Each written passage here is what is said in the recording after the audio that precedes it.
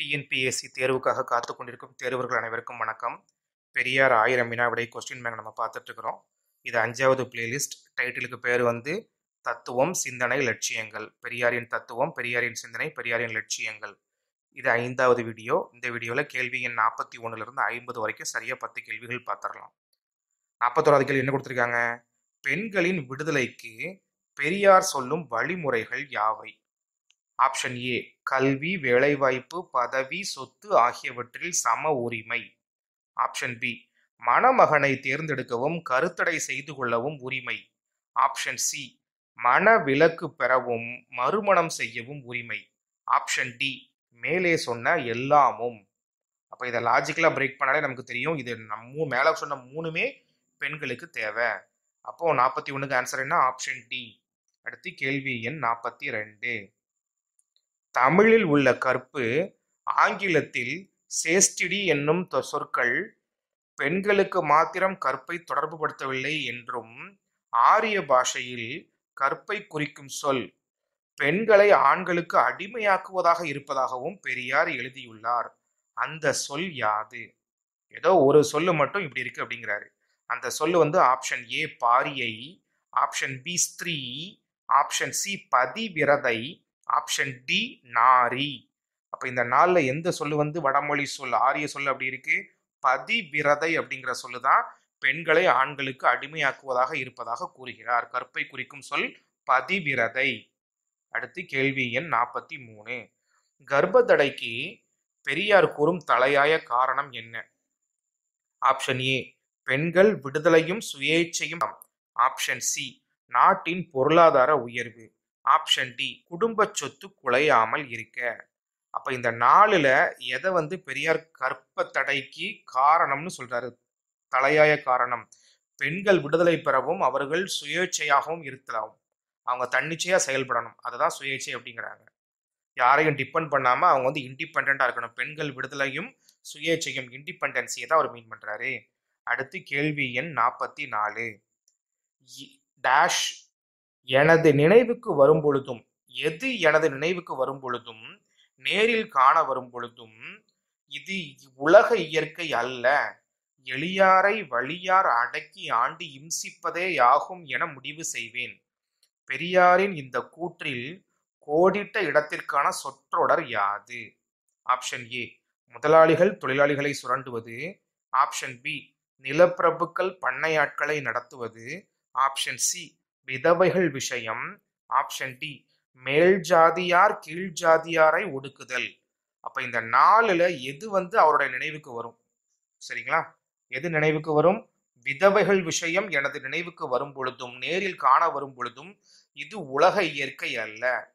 அந்த காலத்துல வந்து அந்த பெண்களை பார்க்கும்போது அவருக்கு வந்து இது உலக இயற்கை இல்லை. எளியாரை வழியார் ஆ- அடக்கி ஆண்டு இம்சிப்பதே ஆகும்னு முடிவு செய்வார். சரிங்களா? அடுத்து கேள்வி எண் நாற்பத்தி ஐந்து. உலகில் மனித வர்க்கத்தினருக்குள் இருக்கும் அடிமைத்தன்மை நீங்க பெரியார் சொல்லும் ஒரு வழி யாது? ஆப்ஷன் ஏ வெள்ளையரும் கருப்பரும் வேற்றுமையின்றி வாழ வேண்டும். ஆப்ஷன் பி பொருள் சமத்துவம் நிலவ வேண்டும். ஆப்ஷன் சி பெண்ணுலகை அடிமையாக கருதி நடத்தும் அகம்பாவமும் கொடுமையும் ஒழிய வேண்டும். அப்ப இந்த மூணுல வந்து எது ஒழியணும்? அடுத்து நான் ஆப்ஷன் டி ஓர் உலக அரசு அமைய வேண்டும். வெள்ளையரும் கருப்போரும் வேற்றுமையின்றி வாழ வேண்டும். பொருள் சமத்துவம் நிலவ வேண்டும். பெண்ணுலகை அடிமையாக கருதி நடத்தும் அகம்பாவமும் கொடுமையும் ஒழிய வேண்டும். ஓர் உலக அரசு அமைய வேண்டும். அப்ப லாஜிக்கலா பிரேக் பண்ணாலே பெண்ணுலகை அடிமையாக கருதி நடத்தும் அகம்பாவமும் கொடுமையும் அழிய வேண்டும். இது அழிஞ்சா மட்டும்தான் மனித வர்க்கத்தினருக்குள் இருக்கும் அடிமைத்தன்மை நீங்கும் அப்படின்னு பெரியார் சொல்றாரு. அடுத்து கேள்வி எண் நாற்பத்தி ஆறு. இங்கே கொடுக்குள்ள இங்கே கொடுக்கப்பட்டுள்ளவற்றில் பெரியார் சொல்லாத வாக்கியம் எது? அப்ப மூணு வாக்கியம் சொல்லியிருக்காரு ஒன்னே ஒண்ணு மட்டும் சொல்லல. உடைகளில் ஆண் பெண் வித்தியாசம் கூடாது. வீண் அலங்காரம் செய்வது பெண் சமுதாயத்தை கீழ்மைப்படுத்தும். உடையில் வீண் ஆடம்பரத்தை ஒழிக்க வேண்டும். ஆப்ஷன் சி மேல் நாட்டாரை போன்று ஆண் பெண் ஆடை அணிய வேண்டும். ஆப்ஷன் டி பெண்கள் கூந்தலை நீண்டு வளர்த்து கொள்வது அநாகரிகமும் தேவையற்ற தொல்லையும் ஆகும்.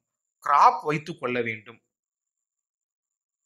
மேல் நாட்டாரை போன்று ஆண் பெண் ஆடை அணிய வேண்டும் அப்படின்னு அவர் சொல்லியிருக்க மாட்டாரு. மற்ற மூணுமே அவர் சொல்லியிருப்பாரு. மேல்நாட்ட ஃபாரினரை போல நீங்க என்ன பண்ணணும்? ட்ரெஸ் பண்ணணும்னு சொல்லி அவர் சொல்லியிருக்க மாட்டாரு.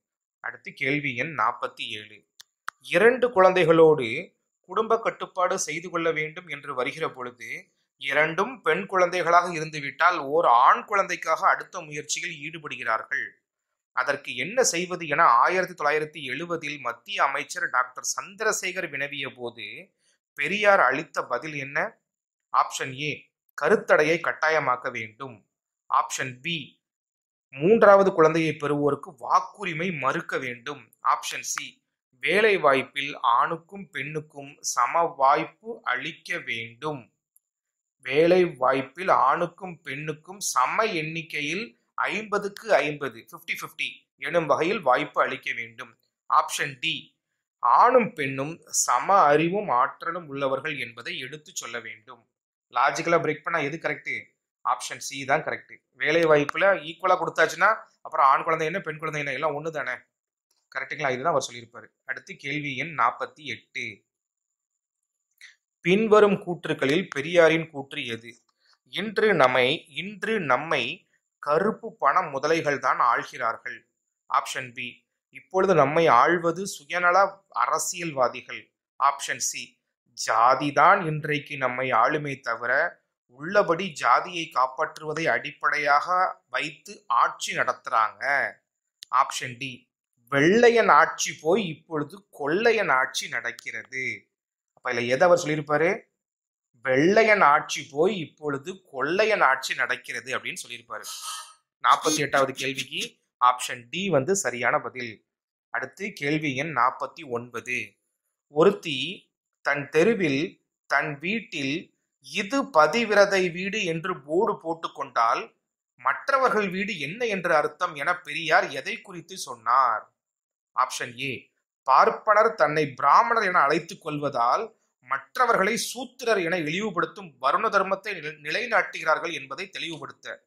ஆப்ஷன் பி எவரும் சாதி சங்கம் வைத்துக் கொள்ளக்கூடாது என்பதற்காக. ஆப்ஷன் சி மொழியின் பெயரால் அடையாளம் காட்டுவதை கண்டிக்க.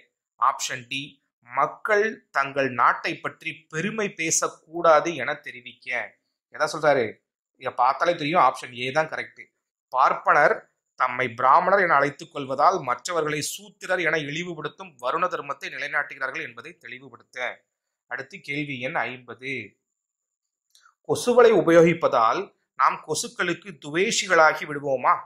மூட்டை பூச்சி கடிக்காமல் இருப்பதற்கு நம் வீட்டை அடிக்கடி சுத்தம் செய்வதால் நாம் மூட்டை பூச்சி துரோகிகளாகி விடுவோமா? எந்த குற்றச்சாட்டுக்கு பதிலாக பெரியார் இந்த எடுத்துக்காட்டுகளை கூறுகிறார். Option A. குப்புரிமையை விடாது வலியுறுத்தி ஆப்ஷன் சி மதத்தை மறுப்பவர். ஆப்ஷன் டி கடவுள் சிலைகளை உடைப்பவர். இப்போ இந்த நாளில் அவர் எதை மீன் பண்றதுக்கான இந்த ஸ்டேட்மெண்ட் கொடுத்துருப்பாரு? பார்ப்பனர்களை வெறுப்பவர் அப்படின்னு சொல்லியிருக்காரு. அதாவது மீன் பண்ணுறதுக்கு தான் இந்த ரெண்டு ஸ்டேட்மெண்ட்டையும் சொல்லியிருப்பாரு. இதோட கேள்வி எண் ஐம்பது முடியுது. இந்த வீடியோ அஞ்சாவது வீடியோ அடுத்த ஆறாவது வீடியோவில் கேள்வி எண் ஐம்பத்தி ஒன்றுலேருந்து அறுபது வரைக்கும் பார்க்கலாம். Thank you so much friends